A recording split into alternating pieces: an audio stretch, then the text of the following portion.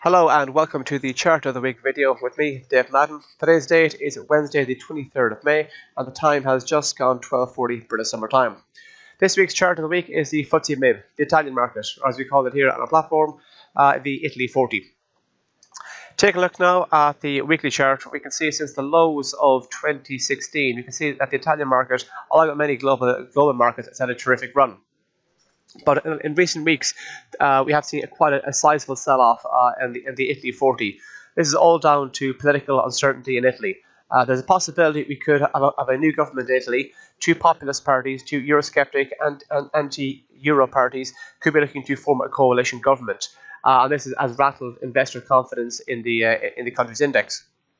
There's even uh, scrutiny being applied to Giuseppe Conte, who's tipped to be the next Italian prime minister, uh, this allegation that he wasn't entirely truthful on his CV.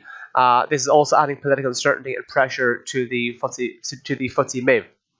So we've been drifting lower for the last for the last two or three weeks. Uh, where can we potentially drift lower to? Well, this blue line here is the 50-week moving average. It comes into play at 22,448.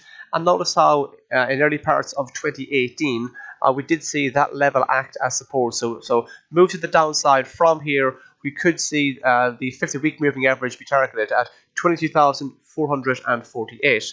Taking a look now at the weekly, at the daily chart, we can get, get an idea of how much the market has declined uh, in the past two, two and a half weeks. As we can see, there's been a sizable sell off uh, in the past two and a half weeks.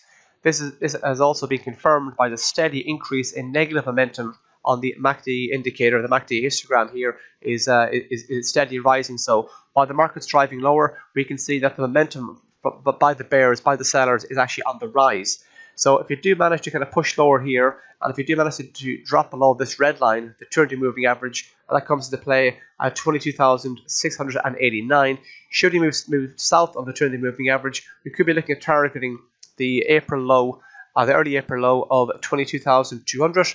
And if we go south of there, we could find support from the 22,000 figure itself. 20,000 is a big psychological number, but also we can see in recent months throughout 2018, it did act as a, decent area of support. And if you go, and if we have a sizable break south of 22,000, we could be looking at, at testing the, the lows of 2018, uh, which come into play at 2000, 21,452. But the the 200, the 200 day moving average, this red line here, has also acted as a significant level uh, in recent months. We can see um, both back back in uh, back in January and also a few times in February, March, it did manage to act as support. So if we do see the market run into run uh, find support from the 200 day moving average at 20,693, we could see the market bounce higher. And if you do manage to see it bounce higher, where could we go? Well, we could potentially bounce back up toward this blue line here at the 50-day moving average, which comes into play at 23,329. Notice how it did manage to act as resistance in both February and uh, and also and also in March. It did actually act as support in April as well. So while the market has recent history of acting as support and or resistance, it makes it more likely that it will do again in the future. And if you do have a sizable break north of this blue line here, the 50-day moving average, the next area to keep an eye out for to the upside will be 24,000, big psychological number. And if you go north of 24,000, we can then become more confident that the wider upward trend is going to continue. And we could be looking at testing the May high of 24,565. Well, that's all for me this week. Thank you very much.